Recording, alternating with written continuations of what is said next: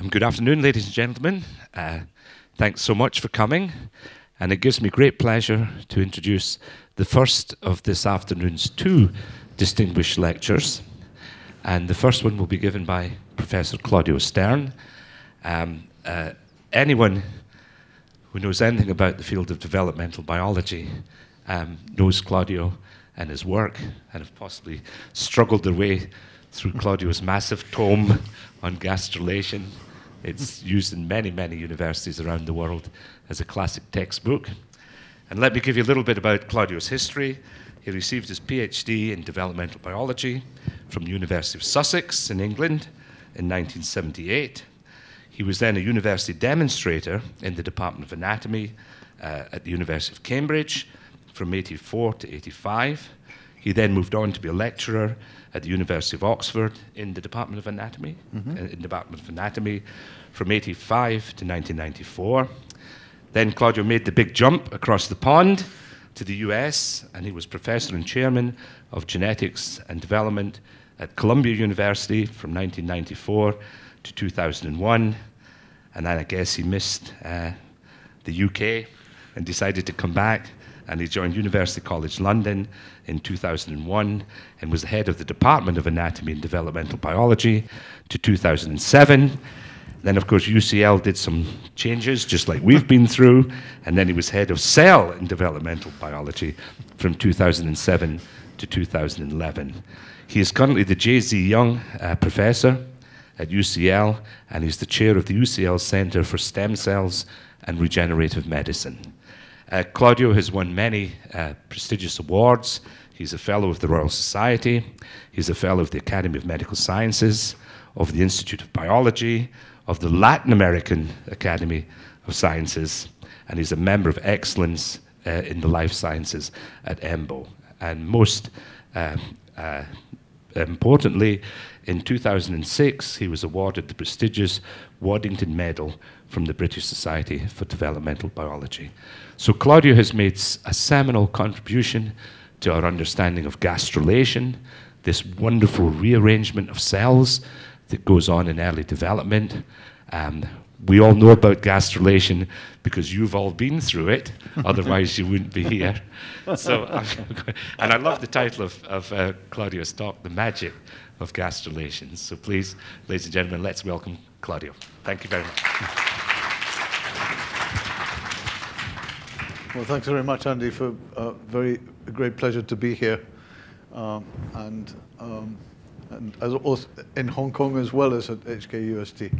Um, so, uh, indeed, what I want to talk about is the magic of gastrulation, and, and it is something that cannot fail to impress everybody. I hope. Um, and I'll, I'll come back to that in a minute as to why that is. But I want to start with an evolutionary question, and just to try and place what I think is a really important transition in evolution of us as, as higher vertebrates uh, in life. And uh, I actually think that there's one particular transition in, in evolution which has been somewhat overlooked. And I think that study of gastrulation is going to emphasize the importance of this transition in some ways. And, uh, and that is the transition between amniotes, which is birds, reptiles, and mammals, versus the rest of the animal kingdom. And let's just compare with close relatives. For example, a frog. So a frog in a pond um, is, finds its mate. It, fertilization is external to the body, so the frog lays a bunch of eggs, and the male frog sits on top of the female and sprays the, the eggs with sperm, all of which floats around in the water in the pond. The, and the female frog then sticks all these eggs onto a reed and the, the mass of eggs just sits there. And there's lovely food, caviar, for everybody else in the pond. So all the fish and other frogs and everything want to eat this stuff. So, they, so the frog lays lots and lots of eggs because many of them are going to be lost. They're going to be eaten. So it's a, it's a, it's a, a reproductive strategy that sacrifices many individuals in order for just a few to survive. Uh, so if you're a frog embryo at that point and you're just stuck to the reed and you've just been, the egg has just been laid and fertilized, what do you want to do? You want to swim away as fast as possible. So, um, so the, the key to the reproductive strategy like that is that you want to compress development into as short a period as possible so you can swim away. So the frog embryo hatches within about 24 hours of being the egg being fertilized. And what it does is the cell divisions are really rapid. There is no G1 or G2 phase in the cell cycle. The, the, this, the first 10 or 11 cell divisions are synchronous. So the cells just divide, divide, divide, divide, divide as fast as possible, make lots of cells. Each cell is half the, half the size of its parent, so there's no growth. And if you weigh a fertilized egg and you weigh the tadpole that came from it, it's exactly the same weight and the same volume. So there's no growth during early development, and the tadpole that swims away is basically an electrical cable along the dorsal side, which is the neural tube, and a mass, of muscle. And it's specialized in only being a swimming machine, nothing else. So the gut is not open to the outside. It cannot feed yet. The brain doesn't really function, doesn't think very much. It doesn't read any books. And, uh, and so uh, it just wants to get away as fast as possible and scatter. So that is a strategy that is used pretty much by most anamniotes, the, all the vertebrates that are uh, mostly pond, uh, pond living or water living, frogs, fish, and so on. Then there's this transition from the amphibian to, to reptiles, and then as extraembryonic membranes get invented, nutrition is no longer inside the embryo. The whole reproductive strategy changes. So you have animals that now lay one egg a day or a month or whatever, or very few eggs, and they either look after them by sitting on top of them or burying them in a nest. Um, or in, in mammals, then that went one, one step further, and then the mother keeps the egg inside the mother itself, and so looks after an embryo. And relatively few young are made in every pregnancy. And the embryo can now take its time to develop. You don't have to swim away. You can take your time. You're being looked after. And so there's time to do that. So Zygotic gene expression begins early because the cells now have a G1 and a G2 phase in the cell cycle. So the cell cycle slows down, growth accompanies development, so the embryo gets bigger with development, and the whole strategy for how you develop changes. And that changes the entire picture of how development can work. This has enormous consequences on just how development can work. The embryo takes forever to grow. You can make much bigger animals. You can make them uh, come out as almost independent organisms. So when hatching occurs, it is really an animal that can feed and behave and so on. Um, and so the, the young are much more independent. So um, there are a number of changes that take place along with that transition. So among those changes, as I'm saying, you can slow down development. You, you no longer need to escape, so you can take your time. So the cell cycle has these extra phases, G1 and G2, right from the start. And as a consequence of that, it means that you, you lose the dependence on the intracellular yolk because the embryo, um, in, in birds and reptiles, for example, there's a massive yolk that's external to the embryo, but there are membranes that are built from outside the embryo to bring that nutrition to the embryo. So those are extraembryonic membranes, a new invention in amniotes. In the frog, you have the, the yolk is intracellular, there's no growth, but the, the food is already inside the cell. So uh, the other thing you can do is because you, can, you have a G1 and a G2 phase. You can also use the genome right from the start. So each cell cycle is complete, and so you can transcribe things. So you don't depend on maternal messages anymore. I'll tell you about the, the advantage of this in a minute. And then the other thing, as I said, is you can make much bigger animals. You can, you can couple growth together with the development. So you'll see, I'll come back to that theme as I go along, but I will, the talk is divided into four major, major subheadings, really. First, I'll well, define a little bit about what gastrulation is, and why is it important, and, and what it consists of.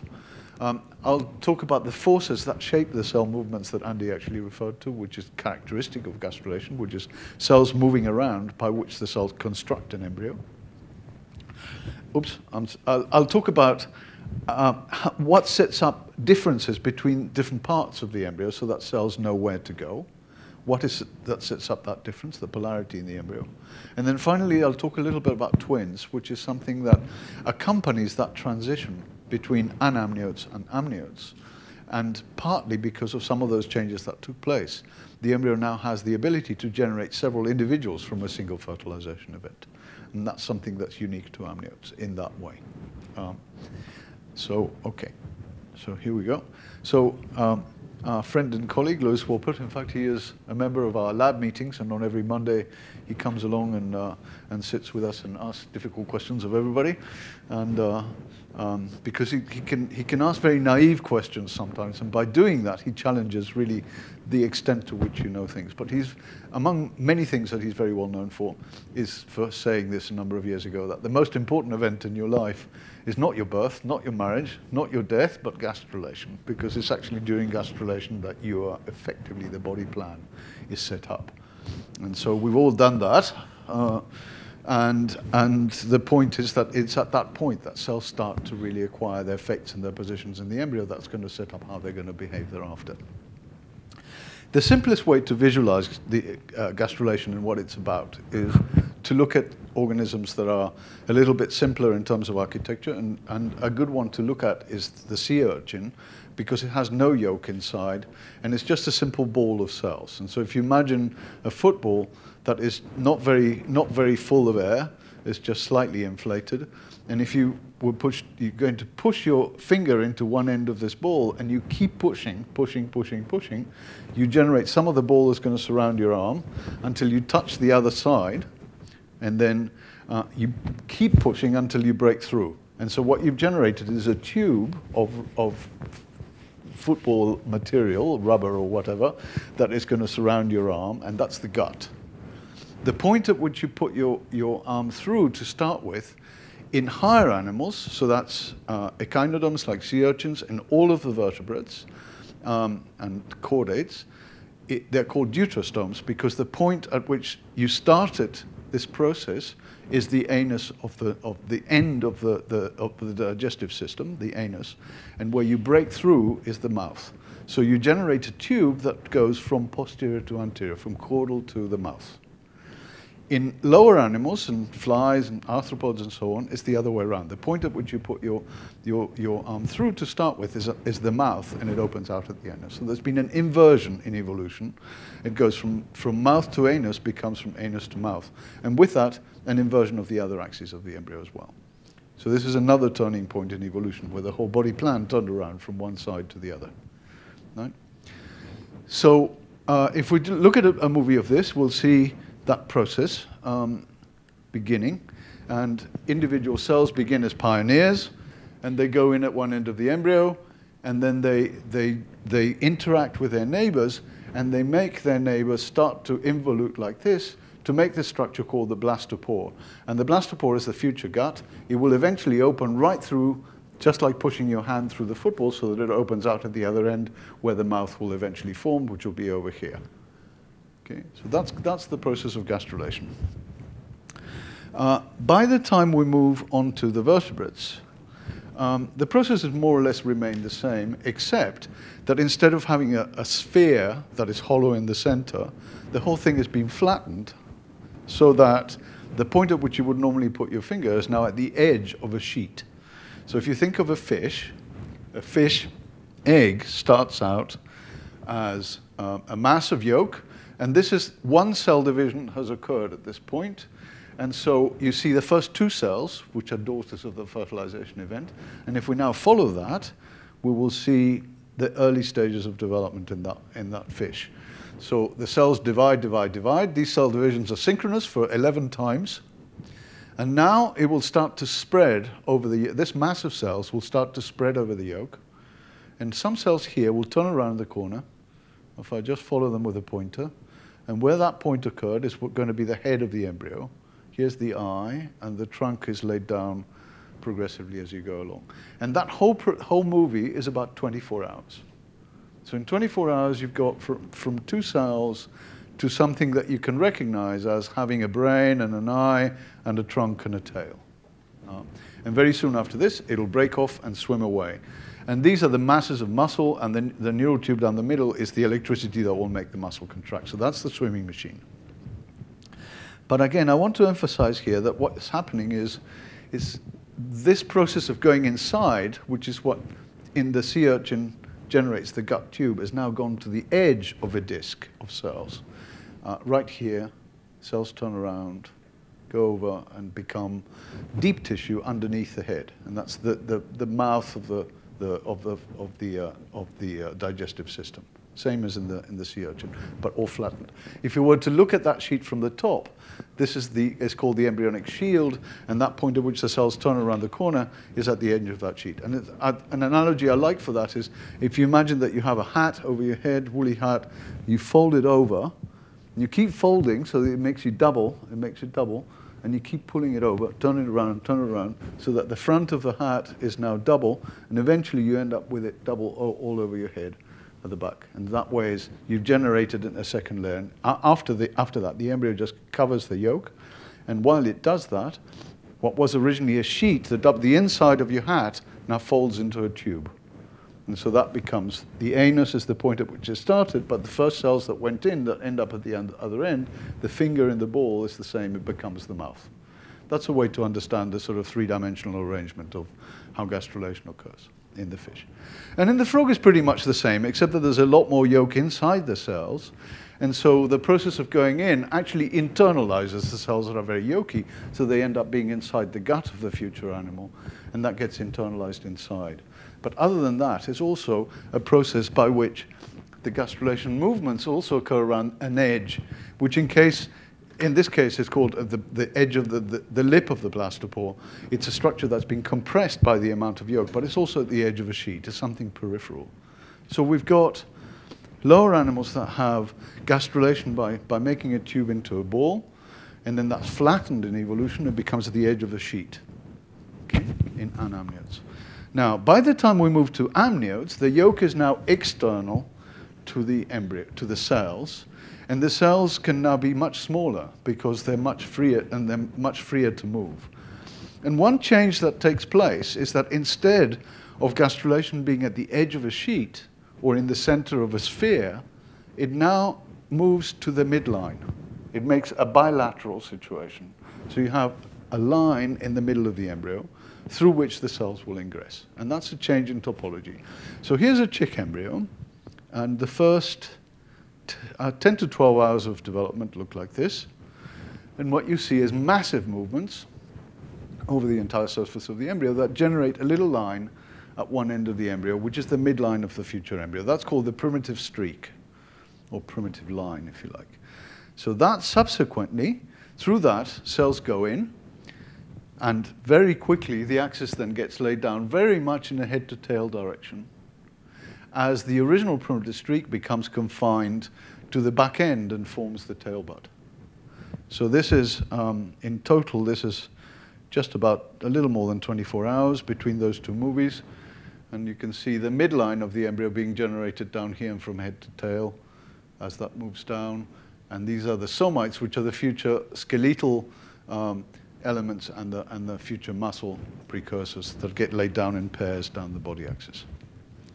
So there's been a movement of what in fish is at the edge of a sheet to being a bilateral structure in the midline. And that's the primitive streak. And so this is what it looks like. Um, this bilateral structure along the midline of the embryo, the primitive streak. And through that, the cells now migrate by moving into it from at 90 degrees to, the, to that midline structure and going inside to form the inner tissues of the gut lining and the mesoderm, which is the rest of the internal organs. So that all of these movements transform essentially a simple sheet of cells into a three-dimensional structure with three sheets of cells, ectoderm, mesoderm, endoderm. Okay? So what accompanies that transition from, from non-amniote to amniote and this dispensation with being free in the pond and so on and, and now being able to being looked after by your mother is accompanied by a movement of that blastopore or the, or the shield from what was at the edge of a sheet now to being at the midline. Okay? All right.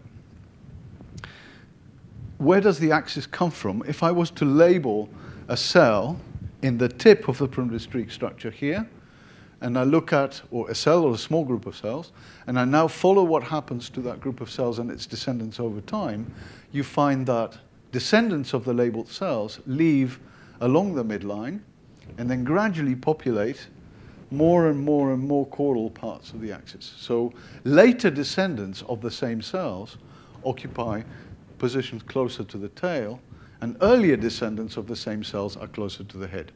So that means that there is an organized arrangement by which a cell divides and leaves precursors here, and then it moves back a little bit and leaves another descendant and another descendant and another descendant and another descendant, and that way you lay down a string of components down the midline. If you label cells not at the tip of the primitive streak, but a little bit further back, you now find that the descendants come out as a U shape, and, and they populate the somites. And so if instead of at the tip of the primitive streak, you label further back, then the cells come out as two little lines, and just to the side of that midline structure. So that means that the further back you label along the primitive streak, the more lateral the components that come out. So the axis of the primitive streak is not the head to tail axis of the embryo. It's actually the medial to lateral. So that the organization of the embryo is like this. So the cells at the tip of the primitive streak populate the midline, then the somites, then the mesoderm and intermediate mesoderm, then the lateral plate. So the further back in the streak you go, the more lateral the components. It's actually the same as in a fish embryo. What occurs from the shield, the point at which the cells are going around the hat, the middle of that is going to be the midline structures of the gut. The sides of that are going to be progressively more lateral structures. But when you fold this hat into a midline structure, then the back end is what used to be lateral, and the front end is what used to be in the midline, goes first. And so you transform a, mid, a, a, a side structure, fold it over, and it now becomes the midline primitive streak. Okay? So that's just a way to look at how that transformation occurs from fish to amniotes. Okay. So if we were to label cells and follow movements, what's going on during that process of moving the primitive streak from uh, what would be in fish at the back end here to the midline is something of this sort. Uh, and here is the movement of labeled cells.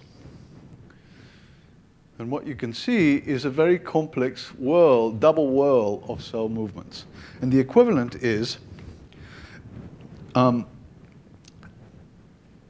if, you, if, you, if I was going to orchestrate all of you into, into dancing, and I said this is an old dance that was called the Polonaise. In fact, this is what these movements are called, where the music would start playing, and I'll say, right, start to dance, and then half of the people here would go towards the wall, and then you move along the wall as a single line, and you'll all congregate, congregate down here from both sides, and then one male and one female from each side will come along and dance along along the midline like this, and then there's another one behind you and another one behind you, and you make a line in the midline by making these whirls. Okay, so there's a, group of movement, pe people will move to the edge, edge first, and then from the edge to the, to the end of the room, and then form the pairs and move along.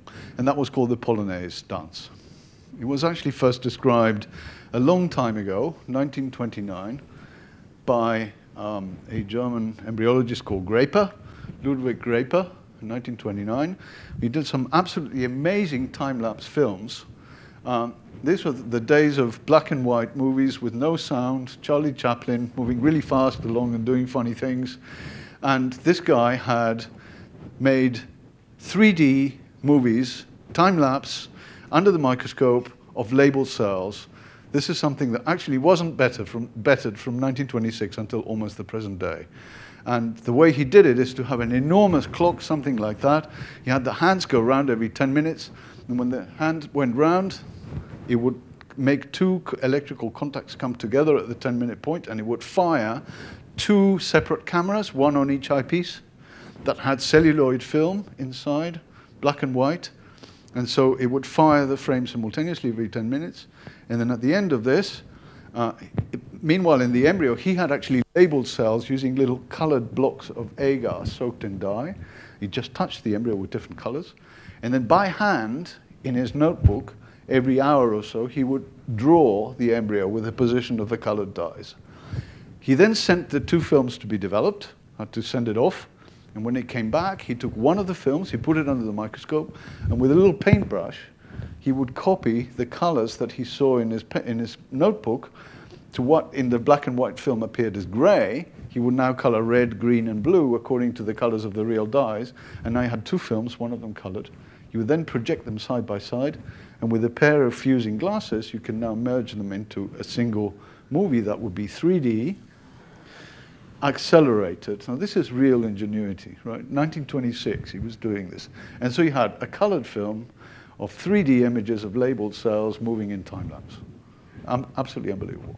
And so he describes, so this is from his 1929 paper, and he describes with this technique the Polonaise movement, movements. Here we go. Uh, and those movements that you saw in a modern made film, he had actually made in 1926. So this just shows what a little bit of ingenuity can do with your experiment. And he described those double whirl movements. And here's an example of what happens to a little group of cells in the middle of the embryo, labeled with a dye, and a line of cells which now changes shape from being a line at the edge, like this, the dancers over here. Actually, if you followed those dancers, they now move first to here, and then they turn around and go along the midline of the room, and that's exactly what's happening. And that reminded him of that dance that was popular at the time, and so he called it Polonaise. Now, until then, until from then on until almost now, we knew nothing about how that is driven.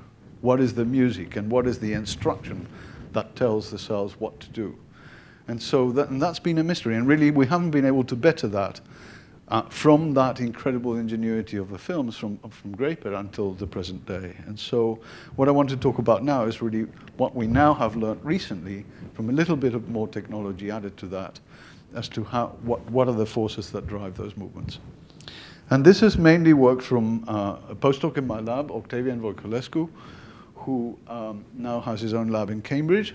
And he uh, decided to use a combination of labeling cells using a, a combination of a nuclear localized uh, GFP together with cytoplasmic red fluorescent protein and introduced into the cells by electroporation, but in a mosaic, to make a mosaic of cells. So he labels some cells that way. And that way you don't have the whole embryo labeled. It makes it easier to follow individual cells. Secondly, he used two photon uh, time-lapse microscopy, so you can go, you can compromise very well be between covering a very large area of the embryo, but also having really good resolution and very good depth penetration through the embryo. So you can have very nice optical sections, and you can now have 3D stacks where you make se serial sections of the embryo, optical sections of the embryo, and you can then reconstruct that and look at it in time lapse. And he focused, and again, the other thing you can do is you can, you can, take, you can sample different parts of the embryo at the same time because you have very precise stage movements. You can then return to the same place and you can make simultaneous movements of the, of the bit here where the dancers are congregating, but also the lateral part of the embryo, for example, and then compare the behaviors of cells in different parts in the same embryo at the same time. So one of the things that he did, for example, is to try and concentrate particularly on this site where the dancers are coming together and ask the question of whether there's anything special about what the cells are doing here as compared to anywhere else. And if you look at that region, this is one of the movies that he made uh, using, looking at just the nuclei of the cells. So this is each, each of those little round things is the nucleus of one cell labeled with GFP, uh, histone 2B GFP. And if you now look at the movements of cells, you find that it's more or less what you would expect from a crowd of people in, in the rush hour. So everybody's trying to rush through, whoops, to that central point, the central location. But there's, there's individual movements. The cells are changing neighbors all the time. They're not, they're not all sticking together, glued like a sheet. There's quite of individuality in the movements. So this doesn't really tell you very much. He then had the idea that we could try and do a triangulation method to try and get a bit more information out of a sequence like that. So the idea was that he would label, he would, he would pick any three cells in randomly from the set and make a draw a triangle between those three cells. And then he would follow those cells. And the question is that if, so what you can do with this is as the cells move, you can look at whether the triangle changes size or changes shape or changes orientation, and whether the surface area gets bigger or smaller. Because if, for example, the surface area gets bigger, it means that more cells are in that territory. If the surface area gets smaller, it means that some cells are moving out of that territory in some way or are lost. Um, if the triangle stays the same size but changes shape, it means that the cells are reorganizing in some way. And so that way you can now compare what happens in the region where, in the midline here, where the dancers are congregating versus a lateral region. And that's what's happening in this, in the sequence here. So if we now play, this is actually from the same movie that you just saw, and random cells have been picked, and this is the lateral region of the same embryo. And what you can see is that the triangles effectively stay the same size, but they change shape and they change orientation. So that means that for any group of cells, that array of cells has become narrower and longer along the midline, whereas lateral cells, the ones on the side, don't do that. They just move along. So this is very much like the dancing movements here. In order for the group of cells to come in down here, the group of dancers to come in and make a line, they need to take turns, one from the right, one from the left, and then make these pairs that will move along the midline. So that makes a file that moves along. And that's a sort of intercalation. Or if, if I was going to open the door and I say, right, fire alarm, everybody leave, and there's a mass of people here, you have to take turns. Some people come in from one side, some from the other, and you intercalate to leave through a narrow, a narrow, narrow area. So it's that same behavior is called mediolateral intercalation, by which there's a preferential intercalation between from left to right at right angles to the radius of the, of the structure. And here, if you switch channels in the movie and you now look at the cytoplasmic uh, fluorescence of the red, uh, it allows you to look at cell shape. And what started as a cell on the left now intercalates between its two neighbors up and down, and in, it, it intercalates itself in between. And so the intercalation is now taking place preferentially left-right so that the elongated uh, an array of cells along the midline generating that polonaise structure. So something like this. So there's a domain at the edge in which the cells intercalate preferentially left-right, and that narrows the array and lengthens it along the, along the radius of the embryo. And that's what's generating this elongation. Now, what's driving that? In, so this is a movement that is not seen in either frogs or fish. This is unique to, to, uh, to amniotes. And uh, frogs and fish, however, have a movement that's similar to that later in development, in the mesoderm. It's what elongates the midline deep tissues of the embryo, like the notochord. And that is driven by uh, a path, the Wnt pathway, the Wnt uh, non-canonical pathway, planar cell polarity pathway, it's also called. And it's, it's uh, driven in fish by uh, Wnt11, which is also called in fish is called silberblick, because there's a mutant called silberblick where Wnt11 is disrupted, and that uh, affects this pathway, and uh, this elongation of the axis doesn't occur. So we thought that maybe in the ectoderm, in the su surface layer in the, in, in the chick where we see these new movements that are, are characteristic of amniotes, maybe Wnt11 is involved. However, Wnt11 is expressed everywhere, so that's not likely to be the case. But Octavian then found that uh, other components of that non-canonical or PCP pathway are distributed in a way that fits with a role in this intercalation. And in particular, these three genes called Van Gogh-like 2, Flamingo 1, and Prickle are co-expressed, are expressed most strongly in the region where the dancers will congregate to make, make this midline structure. So this is where the intercalation is taking place. Prickle, Flamingo, and Van Gogh have their strongest co-expression. So this fits with the pathway being activated at that particular point, causing this intercalation to occur. So to test that, Octavian now did a localized knockdown or of that pathway in two different ways, either using a dominant negative version of the disheveled protein, which is required for transduction of Wnt signals, and in particular he made a construct in which he deleted one domain called DEP in the disheveled protein that is required only for the non-canonical or, or, PCP pathway, but doesn't affect the canonical pathway. And when you introduce that into the embryo, you block effectively non-canonical Wnt signaling, but you leave the beta-catenin-dependent signaling intact. If, if you introduce that construct into this part of the embryo where the intercalation is taking place, you still have ingression of cells to make mesoderm and endoderm, to make the deep tissues, and that's shown here by the blue signal, brachyury, which is a gene that's expressed in these cells that are ingressing, but it's no longer at the midline. It's no longer a midline structure. It's at the edge. It looks much more like a fish. And so effectively blocking the intercalation does not block the movements of in, in ingression of the cells, but it does block the polonaise effects of the dancers going from the edge to the midline. And you can do the same thing if you uh, now introduce a mixture of three morpholinos, each one directed to one of the members of that pathway. So this is three morpholinos to Prickle, Flamingo, and Van Gogh. And you put them in together in the same domain. And You, also by electroporation, you can now uh, also block the elongation of the primitive streak along the midline. And now you have two different markers, in this case, slug or brachyury. Both of them are markers for the deep tissues. You still have those deep tissues forming, but they're not moving along the midline. They're only, uh, uh, they remain at the periphery. So that means that the Wnt planar cell polarity pathway that requires Prickle, Flamingo, and Van Gogh is involved in that translocation of cells from the edge to the midline that accompanies that, that formation of the primitive streak. But it's not required for gastrulation itself. Now, underneath this, there's another tissue called the hypoblast. And the hypoblast forms as a sheet of cells independent of the other one that moves from one end of the embryo to the other. And those cells are shown here in, in green.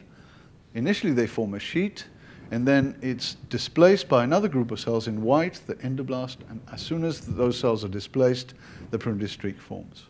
So this is like, here's the floor of dancers, which are now moving. This is the ectoderm. And in the floor below, there is the green movements going on. They're independent. Okay? There are other cells that are moving. And they're also making a layer in the same orientation, but that's it. Many years ago, Waddington, in 1932, showed that if you take the, the people in the floor below and you make them move at a different orientation, 90 degrees away, the dancers on this floor, the ectoderm, will end up making a primitive streak in an orientation that follows the dancers in the, in the floor below. So he wondered whether there was an induction of whatever's going on below to this floor. And um, so, however, that wasn't resolved until, um, and again, about 10 to 12 years ago, another student in our lab, uh, Anne Foley, did some experiments taking advantage of fate maps, where she labeled particular cells whose, whose orientation we knew, to ask the question of whether what's going on in the floor below is affecting movements or rather the fates of cells, their destination. And so what she did is she labeled two groups of cells, one in red here, and we know that those cells are going to give rise to the midline notochord, and the equivalent groups of cells at 90 degrees away, so if the first group of cells is here, the second group of cells will be over there, and now you rotate the floor below and say, okay, if I now rotate the floor below, do these cells now have the same fate or a different fate? So the experiment's done like this. So normally the red cells will give rise to the midline, and the green cells, 90 degrees away, will normally give rise to a group of cells below, but 90 degrees away to the right. Okay? If you label them that way. If you now label those cells in this floor, but now rotate the people below in the floor below, so those are the ones shown here in blue, then the question is, do the red cells still give rise to the midline? And are the green cells still on their right? Or, if there's been an induction, then the midline should now be green because the axis of the embryo now run thus, runs that way, and the red cells should be to their left. Yes? So she now did that experiment, and so she saw, first of all, that the primitive streak bends. It arises from the normal side, but it bends.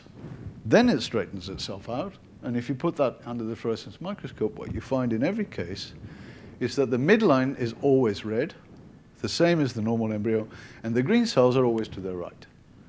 And that means that there's actually not been a change in the fate of cells, but that whatever's going on in the floor below is directing the movements in a different way. So the same cells are giving rise to the same structures, but their movements are different. So there's been some influence on the movements.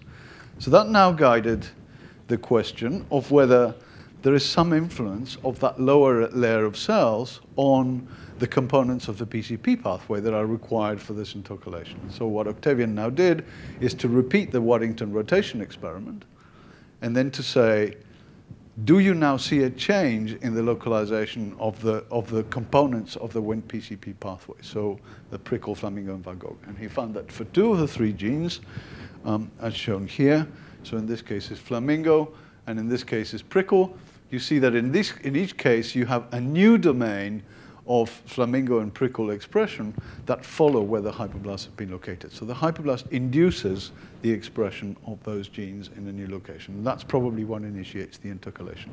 And you can mimic that with FGF. And FGF8 is in fact expressed in the hypoblast. If you put a little bead of FGF in, in that location, you can do exactly the same thing. You can cause flamingo and prickle to be expressed in that new site, and you generate a new site of movements, and the primitive streak bends. So it's as if you start the music and people are already dancing, and then you say, right, now start another piece of music. You put some new loudspeakers over there, and you say, no, I'm here, this is what you need to start. And now other people get confused and they get moving over here, and you start as well. And when this group of cells reach, reaches the middle, that group of cells reaches the middle as well. The first ones need to move a bit to the side to accommodate the other ones, and everything starts to shift, and that makes the axis incline. So that's the way you end up with a tilt. Okay, so with all this, is that enough to really understand what's going on in the embryo in terms of the cell movements? And for that, we turn to some computer simulations, and we ask the question of whether if we just have very simple premises, is that enough to understand the cell behavior? And the four, four simple premises that this model makes First of all, that you have cells in the epiblast, and it's a simple sheet, that there's a bit of tension generated because these cells are dividing and the, and the embryo is growing, and so that kind of pulls from the side, and the cells are attaching to a membrane, and that all keeps it straight. Thirdly, that this is all a tight epithelium, and that's manifested by um, a behavior by which if a little space is generated between cells, then the surrounding cells will try and fill the space equally. So if, if a neighboring cell moves away, then this cell will try and fill in the gap so that the distance with all its neighbors is the same. And that's a sort of intercalation in random orientations across the embryo to keep the tension the same. And the final thing is that in this particular domain that's shown here in red, which is where the intercalation is taking place, there the intercalation is not random anymore, but it's preferential at right angles to the radius. That's all. So a small domain and there in that domain, the cells have a preferred direction intercalation, which is at right angles to the radius. So if you have those four very simple assumptions, and you now put it in a computer simulation, what happens? First of all, if we look at what happens to the domain of red cells and how the cells reorganize themselves, they do exactly what you see in the embryo. They form a primitive streak. They, they transform a peripheral structure into a midline. And the second thing you see is that if you trace the movements of the cells, basically they do the polonaise. So they have uh, whirls that transform into an anterior directed and a posterior directed movement, and you form a midline streak of cells that accompanies this elongation. That's exactly the same as the dance that you see. So just by having a tight sheet and only a peripheral domain in which these, the cells intercalate mediolaterally is enough to drive those movements. In fact, you can, you can even mimic the behavior of what happens when you electroporate about 50% of the cells with a dominant negative construct to block the beta-catenin, the um, uh, PCP pathway, and therefore have half of the cells not being able to intercalate, as in this embryo here. And if you do compare a real embryo up here with the simulations, you find that the behavior is really very similar. So this is just a case where about half the cells cannot intercalate. This domain gets smaller in the real embryo, and there's a posteriorly directed movement, and that is again mimicked by the cells. And all of these uh, views of the embryo are really very consistent with the movements that you see. So the, the computer simulation works very well. Okay, so that's about the forces that, that, that drive the movements. But so far, I've been making an assumption, which is that there is something different about over here from everywhere else. So what sets up that difference in the first place between where the dancers will congregate? Um, now, for that, just make a slight evolutionary aside again. If we look at uh, organisms like the fly or the frog, maternal messages or maternal components are what sets up the difference. So in the fly embryo, there are components, for example, the product of the gene bicoid, which is localized asymmetrically in the egg, and upon fertilization, the product of the bicoid is, forms a gradient across the egg, and when the embryo cellularizes, some cells get lots of bicoid and some cells get very little bicoid, and that sets up the first differences in fate between one end of the embryo and the other. In the frog, something relatively similar happens. You have gradients at right angles to each other. There's a gradient from animal pole to vegetal pole of, for example, mRNA encoding this, this uh, secreted factor called VEG1, also a transcription factor called VEGT, uh, along this axis. And then at right angles to that, there's future nuclear localization of beta catenin, which is uh, uh, activating the, the beta catenin pathway of downstream of Wnt. And so uh, you end up with a region down here, lower right, vegetal dorsal, in which you have the most beta catenin localization and also the most VEG1 RNA. And where those two, two uh, localizations overlap, you make an important signaling center called the Nieuwkoop center. And that now produces signals that instruct other cells where they're going to be. So again, in both cases, anamniotes, insects or lower vertebrates, what happens is maternal components, RNAs or proteins, localize in the egg and become asymmetrically distributed to the daughters so that uh, they become different to each other, and that sets up the initial polarity. But that can only work when there is no growth in the embryo. If the embryo subdivides itself, so the cells get smaller and smaller and smaller, you don't dilute the component. But if the embryo grows at the same time, then every cell division dilutes the component in half, so that system cannot work. Right? So you need to generate the differences later. Now, one consequence of doing what I said before, which is to take your time and grow, is that you can no longer depend on maternal messages in the same way that you do if your volume is fixed. So, one other uh, consequence of this is that because you use your zygotic genome, your genome, rather than your mother's components, you can now control that. You can control transcription in different cells. And that allows a behavior which is called regulative development. So in uh, 1960, Spratt and Haas in, in the States published the results of this experiment. If you take an embryo that has 50,000 cells, chick embryo, 50,000 cells, and you cut that into four pieces like this, and you culture the four pieces separately. So this has gone through a lot of growth and a lot of cell division before you do the cutting. Each of the four pieces generates a complete embryo. And that's is called embryonic regulation. And uh, it implies that there is no special place in the embryo that is unique. There cannot be localizations like the ones that I'm talking about because any part of the embryo can initiate formation of the embryo. And it also means that much of the embryo that has the potential to give rise to a whole embryo normally doesn't do so because it must be inhibited by the presence of something else. So if you leave the embryo alone, you get one embryo. If you cut it into two pieces, you get two embryos. You cut it into four pieces, you get four embryos. So there's communication between cells and a population behavior among them. Many years ago, a student in my lab, Isaac Skromne, cloned the, frog homolog, the chick homolog of the frog VEG1 gene, and he found that it's localized in the posterior edge. Now, this is not where the dancers are congregating, it's actually just outside the room, just out here in the extraembryonic region.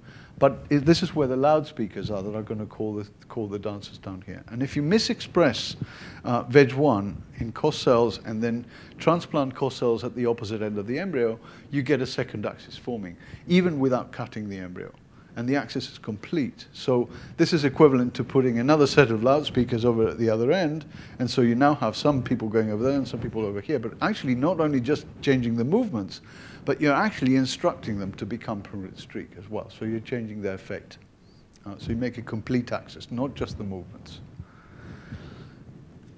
Now, um, Isaac then explored what happens if you put that VEG1 uh, misexpression in different parts of the embryo. And he found that um, if you misexpress it anywhere around the edge, you get a second axis. If you put it in the middle, however, you don't. So that suggested that there's something special around the edge. And in fact, he found that it's another Wnt activity, and in particular, Wnt8, which is expressed around the edge. And that is what's giving you uh, a, a, sort of polar coordinate system by which you specify the outside with the Wnt pathway. But the point in the outside is specified by VEG1. So it's that combination that works. He then tested that in a number of experiments. I don't have time to go into a lot of details, published rather long ago. But if it turns out that if you inhibit the Wnt, the VEG1 can no longer induce in the periphery. And if you misexpress Wnt in the middle, the VEG1 now gains the possibility of inducing an ectopic axis in the midline. So Wnt is responsible for limiting the action of the VEG1 to the periphery. Okay, last, last bit in the last few minutes, I want to touch on twins uh, and which is really an extension of that, of that experiment by which if you cut an embryo, each part of the embryo is giving you an individual. How does it do that? There's actually an animal, the armadillo, that does this all the time. It's probably because it lives in the desert and doesn't find mates very frequently. And so uh, when it does, it tries to make the most of each fertilization event. And it actually, each time, it makes quadruplets, identical quadruplets from a single fertilization. Uh, something must be inhibiting that in us and in the chick that develops without cutting. Uh, and one component is actually that other group of cells underneath, the hypoblast.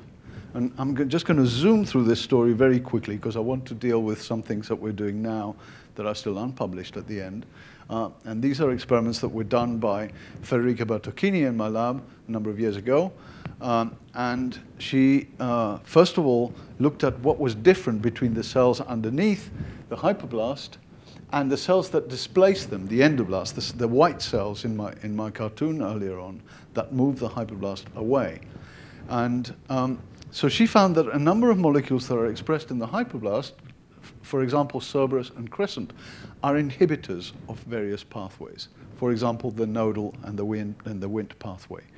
Um, and they are expressed in the hypoblast and not in the endoblast. So given that the hypoblast, so this initial tissue in the other floor, is expressing inhibitors, she wondered what would happen if you just remove the whole layer of cells.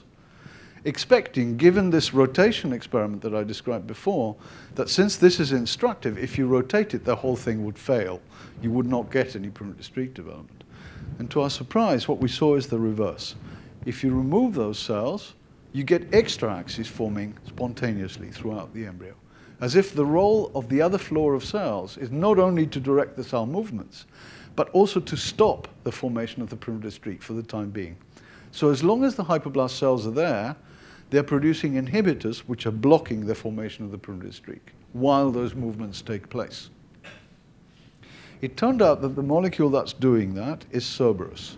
And Cerberus is a secreted molecule that blocks nodal signals. And nodal is another member of the TGF-beta pathway and uh, uh, is related to VEG1. And that is produced by, uh, the Cerberus is produced by the hypoblast. And as long as the hypoblast tissue is present, then no ingression takes place because ingression of cells requires nodal. So the hypoblast does two things, three things. It blocks the nodal signaling, stopping cell ingression while it's there. But it also initiates, through FGF, expression of the molecules in the PCP pathway that are required for intercalation that move cells from the edge to the midline. So all this is integrated into the following model, that we have a peripheral region of Wnt expression, which specifies the periphery, where the VEG1 can act. There are cells within that periphery that express VEG1, and the combination of VEG1 and Wnt, in fact, we know leads to expression of localized expression here of the nodal molecule, which is required for ingression of cells. But that nodal molecule cannot act because in the floor below, there are people generating Cerberus, which blocks the nodal activity. But meanwhile, you start the music, and the cells now go through the intercalation in that nodal domain that moves what was the nodal signal that says ingress but at the same time there's a signal that says not yet, and it moves these dancers to the midline, and only then does the hypoblast move away, freeing the cells from the Cerberus and freeing the nodal signaling from occurring. So ingression can only occur when the dancers have gone to the midline. So the role of this new tissue in evolution, the hypoblast, is to delay the ingression until the cells that were at the periphery have now moved to the midline, and only then do they go in. And that's the process that makes the gastrulation move from the periphery to the midline. So that's the evolutionary change that accompanies the amniote formation. And that's what generates the primitive streak in the middle. Okay, but there's still a question that must be in your minds by this point. This is my final point, uh, which is, okay, that's all very well, but you haven't explained why an embryo that already has VEG1 expression at one end, if you cut it, it can still make me other embryos. So something must be going on here that adapts to that. What's happening here? And what's happening to this VEG1? And how come these other ones can do it? So to try and answer that question, we wondered whether when you cut an embryo, for example, in half, does the other half now start to express VEG1? Now, Spratt already described that if you cut an embryo in half, in this half, everything is present and it'll make a normal axis. In the other half, 50% of the embryos will make an axis from over there, and 50% of the embryos will make an axis from over here, randomly. And so there's a, a, randomness to it, but there's always at the edge of the cut, you get that. Closest to the posteriors where you get a new axis. So Federica wondered what would happen if you, if you cut an embryo and now you fix that embryo after one hour, two hours, three hours, four hours, and so on. When does VEG1 appear, if at all? Or what are the earliest components that you can see that appear that predict where the axis is going to form? And she found that VEG1 does appear, but it takes six hours after cutting and so if you cut it, whoops, cut an embryo in half, and you look at the posterior half, that makes a streak as normal. In the anterior half, after three hours, you see nothing in VEG1. After six hours, VEG1 appears very weakly, randomly, 50% of the embryos on the right, 50% of the embryos on the left. By nine hours, it gets strong. And by 12 hours, nodal appears, which is the consequence of that. So it takes six hours for the VEG1 to appear randomly one side or the other. Some other inhibitions taking place here. But that now gives you an opportunity to try and find out what's upstream of VEG1 and localizing it. So what I'm going to tell you now are some current experiments that are going on in the lab and a screen that we have designed to try and figure out what's going on here. And this is now using new molecular technology to try and figure out what regulates that VEG1 expression. And these are experiments that are being done mainly by my postdoc Angela Tolop in the lab right now, um, and by a bioinformatician called Mohsin Khan. So uh, what Angela did is, first of all, to do two screens, two molecular screens. In the first one, it's designed to look for genes that are normally differentially expressed between the posterior and the anterior marginal zones of the embryo. So what she does is she cuts a little piece of tissue from the posterior, so this is where the VEG1 is being expressed, and the equivalent piece of tissue from the anterior over there where VEG1 is not being expressed at the opposite end of the embryo. And then does that in 40 embryos, and pulls all the posteriors and all the anteriors and does that three times. Here's one time, another time, and there's a third one not shown. Each one then is analyzed by microarrays. Now, we don't even look at the embryos. Uh, I should also tell you that what she, the other thing that is really important in a screen like this to be absolutely sure of every single embryo and its polarity. So what she does, after cutting the piece of tissue, she fixes the rest of the embryo and does an in situ for VEG1. And in 10% of the cases, so she realizes she got the polarity wrong, like this one, for example. She cut a piece of tissue from here and here, but actually the VEG1 was a little bit further away, so this embryo is discarded. So you take the 90% of the embryos that you got the orientation correctly, and you pull those. So you know that every single embryo is correct. Okay? That reduces the noise in the system. And the second part of the experiment, this is to clean up that, that assay. And this is now one of three arrays done. You need to increase the number of embryos to 70 per array for this to work. What she now does, magnify that a little bit, what she now does is she cut the embryo in half. She fixes the posterior half and does an in situ for VEG1, and that's to, to check that you've cut it exactly right and discards the embryos where the axes were wrong. And then she cultures the anterior half for six hours and then cuts a piece from the right and a piece from the left. Now, you don't know for each embryo whether the axis in that particular case is going to form from the right or from the left. So what you do is after six hours when you collected the pieces, you take each embryo, you fix the remaining anterior half, and you do an in situ for VEG1. And then you know whether the veg one was on the right side or on the left side. And then you pick all the right, all the ones that are from veg one side together. Some 50% are rights and 50% are lefts. Put all those together, and the reverse. And then you do a differential screen between those. And now you look for genes that are differentially expressed the same way, posterior versus anterior in one, and VEG1 expressing versus non-expressing in the other. And here are the results of the analysis, roughly. And uh, uh, so this is the anterior versus posterior comparison, and you find there are some genes that are upregulated in the posterior, shown here in red, some, some genes that are downregulated in the posterior with respect to the other, so they're less expressed in posterior. And um, if you now look at the other experiment, you have a similar result. Uh, fewer cells, in fact, is less, less of a change, but there are genes that are expressed again on the VEG1 expressing side, shown here in red, and the non-VEG1 expressing side, which are shown here in blue. And if you put them together, you end up with a very small number of genes that have very significant differences. So if you have a cutoff, for example, of 1.2-fold changes, and 5% significance, uh, you end up with uh, approximately 76 upregulated genes that are higher in the posterior and also on the VEG1 expressing side, and 34 genes which have the opposite pattern, so putative uh, inhibitors. And so it's nice to see that VEG1 itself is in that set, and that was one of the things that you want to you want to make sure is in the correct set. Uh, and then there's a bunch of other genes that start to appear. So this is really early days, and we're just starting to look at them. But I can tell you, and this is from about two or three weeks ago, that um, there are now, uh, so, uh, we've now verified by in situ that some of the genes from, in fact, the ones that I just showed you, gene number one, number two, number three here are indeed expressed in the correct way in the normal embryo. And in fact, when you cut the embryo and you culture that half, indeed, there are also, this, this particular gene, number one here, is expressed in the same way as VEG1. And now the latest result, even after this slide was made, uh, Angela has now found that it's actually, this particular gene is, is uh, is expressed before VEG1. By four hours, you already see expression of this gene on, the set, on, on one side rather than the other. Meanwhile, um, Mohsin Khan, our bioinformatician, has been analyzing the region around the VEG1 gene on chromosome 28 for, to try and predict putative enhancers to which whatever factors are going to be found there, whatever transcription factors are found to be upregulated, might bind and, and regulate that expression.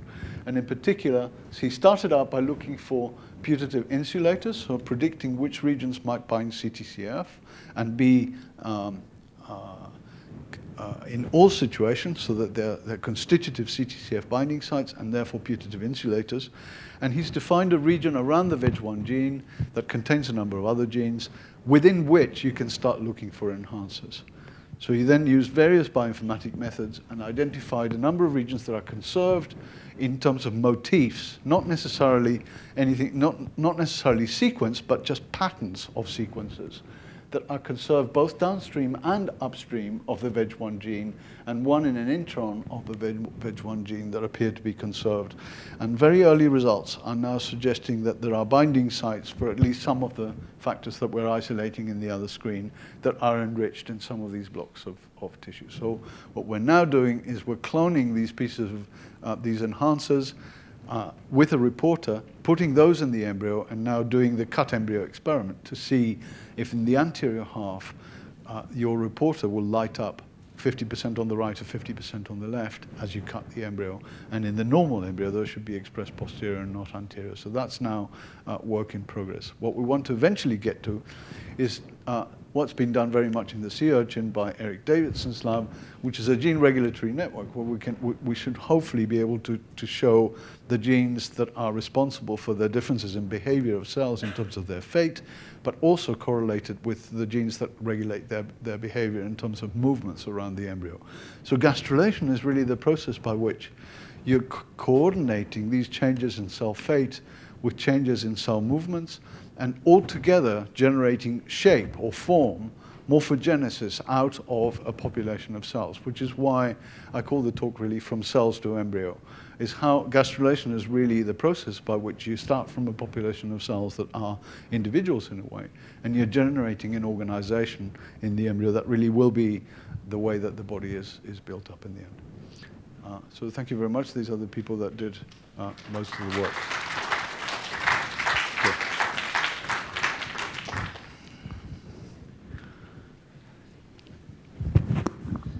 Well, thank you very much, Claudio, for a wonderful talk. And I think this should be very inspirational for all of the young undergraduate and postgraduate students in the lab. Our understanding of gastrulation is far from complete. There's a lot of work still to be done, and I'm sure Claudio would be delighted to take any questions from the audience.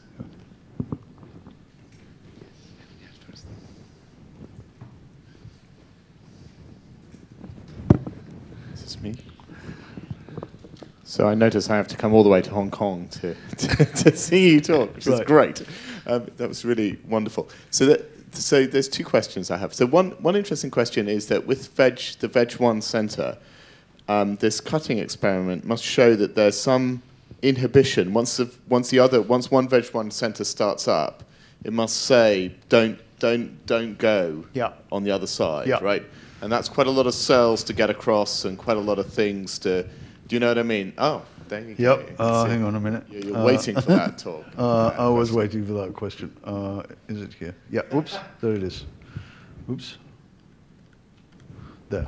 Uh, so th- that is a very, very good question, and because the the one inhibition that I talked about until now, the hypoblast one, is way too slow, and that really cannot account for why you don't get twins all the time. So there must be something that's traveling really fast in the embryo. So that says if it started, stop immediately. So Federica did this experiment, which is actually it wasn't the experiment wasn't my idea. It was actually Lewis Wolpert's idea. During a lab meeting, he says you've got to do this experiment, and we did it. And it actually worked really well. So she did the following: she she took a whole embryo and she put veg one at one at one edge, 90 degrees away. And then uh, if you put two veg one pellets at the same time, you get two primitive streaks, one from each side. see, but then and then the change the question is, what if you delay? You put one hour later, or two hours later, three hours. How late can you put the second one before the second, that it no longer induces an axis? That will tell you how fast it's propagating. Right. So, um, or the, fa- the slowest speed at which you can propagate. So if you do that experiment, you find that after two hour, after zero hours, you get two streaks. At four hours, you still get two streaks.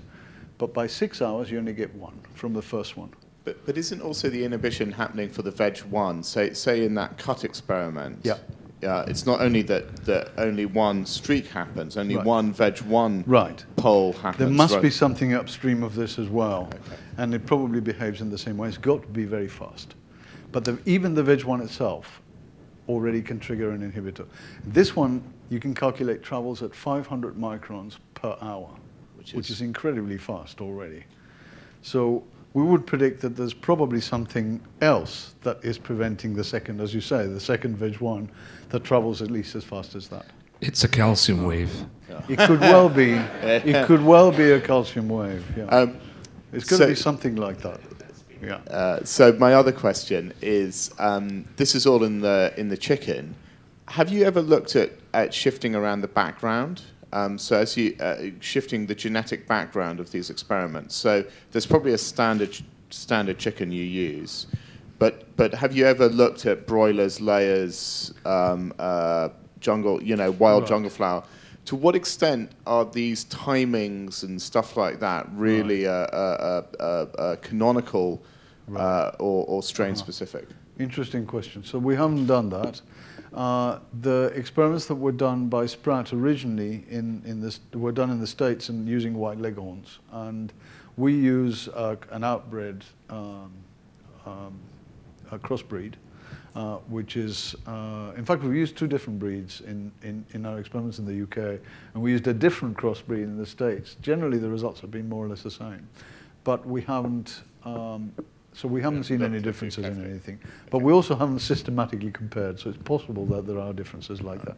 It'll be interesting as, as people generate more uh, SNPs and the like across Exactly, things absolutely. that we might be able to find things more easily if we had information like that. And Should so it'd be very nice to uh, to go for that. Yeah.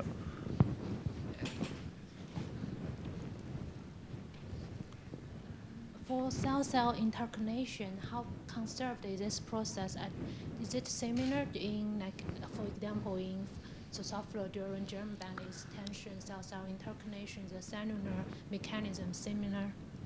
The intercalation, you mean? Yeah. I think the intercalation is very similar, and uh, so the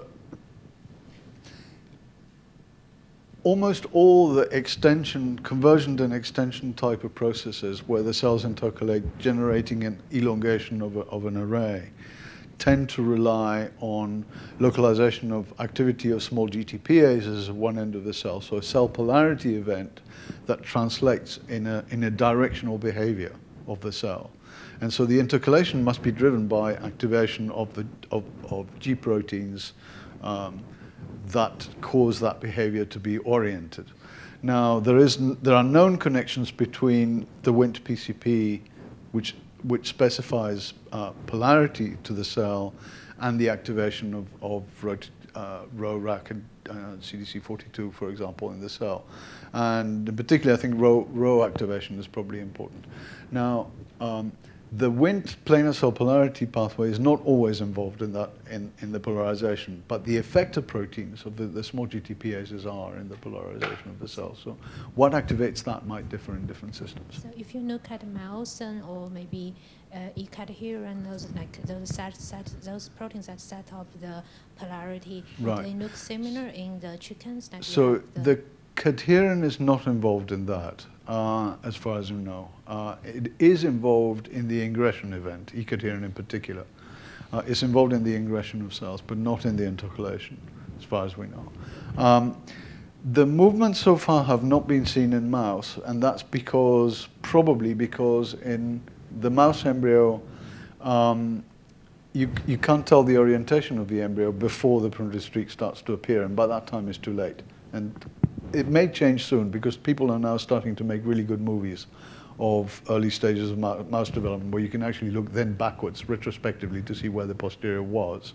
But so far they haven't been seen. However, in the rabbit, you can see movements like that. So if you make a movie of the rabbit, which you can film from the beginning, looks very much like the chick is a flat blastoderm, and you see the same sort of things. The cells move around in the same kind of pattern. So I would predict that eventually we're going to find that at least in all the flat blastoderm type um, higher vertebrates, that includes human embryos, I would predict that we'll see the same thing as we see in the chick. A mouse is possible that it's different, I don't know, uh, because in rodents are, are a different topology, and even the nodal signaling is slightly different, differently organized in the embryo. So it's possible that there are some major differences there in the way that things are organized. But eventually, the, the, the overall patterns have to be organized the same way. As to how you localize the nodal and the timing might differ between different vertebrates, but the core of the, of the process must be the same. Um,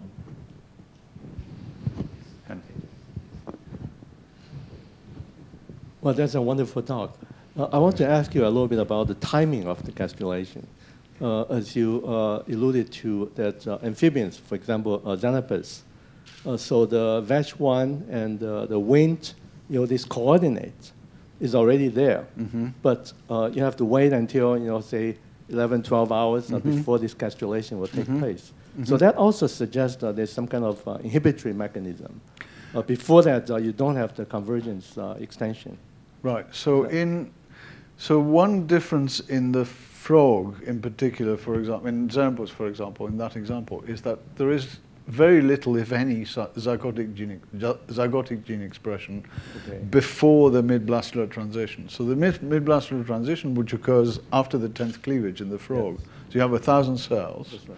and, and before that time, there is very little zygotic gene expression. So even if you have activation of something, it cannot result in a different in differential gene expression at the level of transcription until after that MBT.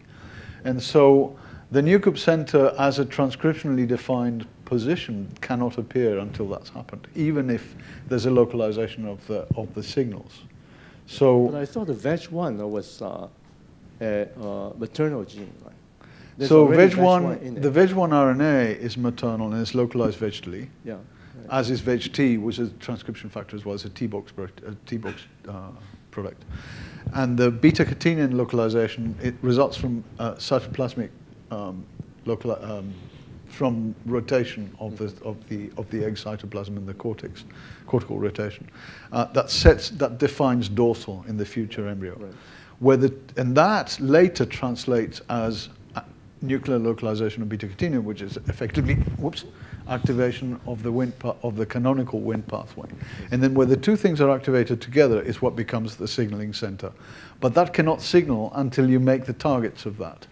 Right. And so it's only post MBT that you can start making the genes like Siamois, which are uh, the transcriptional targets of that nuclear center, that then trigger signaling. That then triggers another signaling center, which is the, the Spemann organizer in the neighboring cells, and that is what produces the patterning signals in the embryo. So there are quite a lot of downstream events. Right. And so, um, so the delay, there is a delay that is due to this transcriptional delay in the embryo that delays the consequences of that. But in the fly, it doesn't work that way. You have some patterning as soon as cellularization occurs. Uh, that subdivides the domain into, into subdomains. But your material is fixed in both cases, and so you just pattern. There's less morphogenesis and more patterning in a way. So you have a domain of cells that acquire different identities, and then they acquire different behaviors as a consequence. Whereas here you've got cell behaviors and fates sort of disconnected in a way, and then you bring the two things together by controlling that timing in a different way. So, so that's the novelty in a way. So in other words, uh, in uh, amphibian, there's no such thing as a hypoblast uh, kind of uh, Not inhibition that- type yeah. of thing. No, not okay. not that we, that has been. In fact, there are a number of things that are missing in, in, in fish or frog. One one of them is this. Uh, um, the early zygotic gene expression obviously doesn't occur in the same way. Secondly, you don't see this intercalation behavior in the epiblast or in the ectoderm. You only see uh, intercalation behavior in the mesoderm underneath uh, after the cells have ingressed. Um, and in chick, you see intercalation in both an early intercalation and intercalation in the mesoderm later as well. So there's an, an additional one acquired. And you also don't have any extra embryonic tissues in frog or fish that are comparable to these. And so the hypoblast and, and, tissue, and tissues in the other floras in my analogy appeared partly because of a nutritional role. So they are specialized in acquiring nutrients from the yolk that's outside the embryo. So the extraembryonic tissues are partly specialized in that. But at the same time, they seem to have acquired functions in, in delaying the embryo, allowing growth, and really to coordinate all these behaviors at the same time. They're really quite, in, quite interesting innovations in evolution. So, in a sense, I think all these things have appeared coordinately. Um, and the new delay is a way simply to allow the cells to relocate to the midline of the embryo uh, for that to, to happen. Yeah. Thank you. Has anybody looked at, at um, monotreme eggs? I mean, it must be a nightmare for echinoderms, I guess. I mean, Uh, no. Anyway, Ech- the hedgehogs, basically. oh, hedgehogs. Uh, Uh, you, you know, the... Uh, wh- wh- echidna, you're echidnas, thinking of some- that's it. yeah. So, uh, echidna, not that I know of. There are. Uh, no, I don't think I don't think that's been done, or platypus or Yeah, anything platypus like that. is Hasn't- endangered, so you're right, not allowed to do it, right. right? But echidnas is roadkill Right. in Australia, so you could Yeah, probably... yeah. I d not as far as I know, not, and certainly not at these stages. Yeah, uh, be interesting. Yeah, yeah. Yes, uh, Donald, please. Yeah.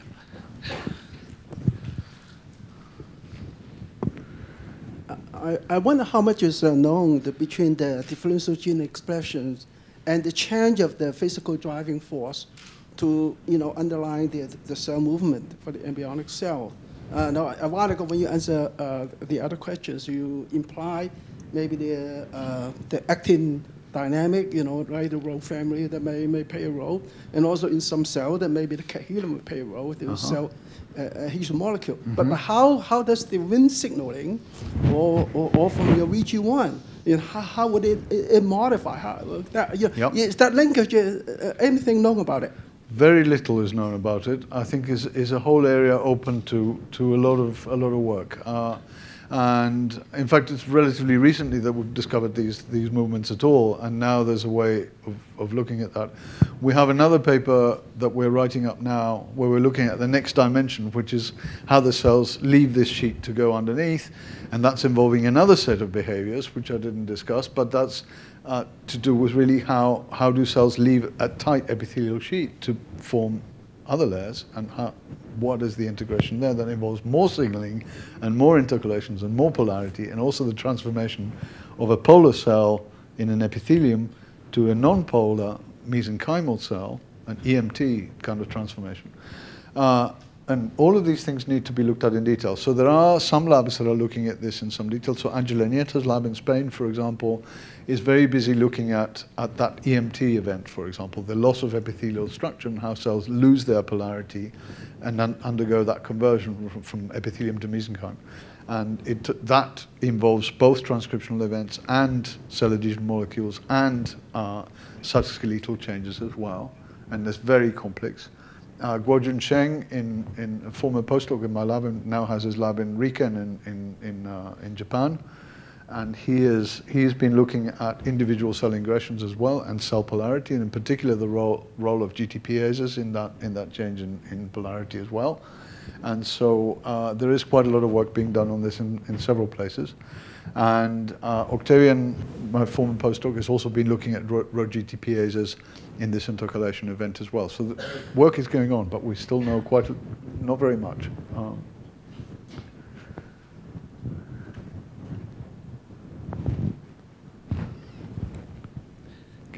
Oh, one more, right in the middle, please. I was just going to say there's a big polarity in the lecture theatre. All the questions are coming from this side. this quadrant. so there's a wave coming across this way. uh, you, you have uh, do one experiment, you co-express uh, V Wango and uh, Wnt8 at the uh, central part of the uh, uh, of the egg. I don't know how to pronounce it. And uh, uh, I wonder how the streak direction is determined ah, when you put this at Interesting question. Okay, right. So this is in the experiment where when we misexpress the VEG1 in the middle of the embryo together with Wnt, right?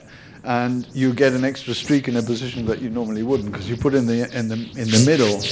So it it seems as if the street can find its nearest margin. oh dear. Um, its nearest margin. I'll turn this off.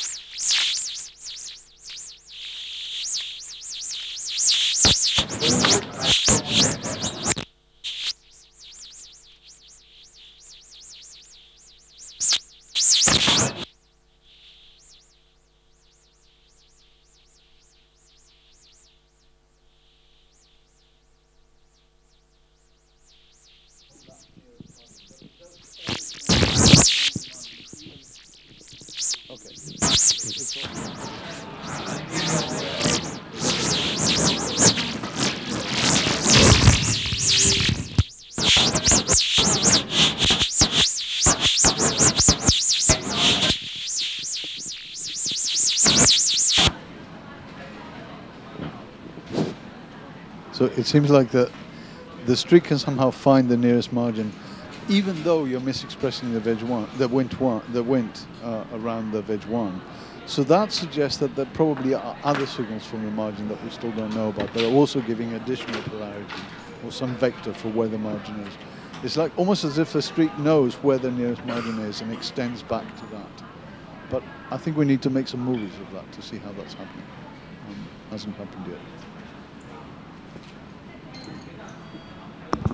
Well, if there's no more questions, please remember uh, Professor Stern is very willing to um, meet you and ch- chat to you in the Uni Bar at 6 p.m. after the second IAS uh, uh, talk this afternoon. So please do come down uh, and mingle with us, and uh, we can continue this very interesting conversation. So once again, let's thank uh, Professor Stern for a very, very interesting talk. Thank you.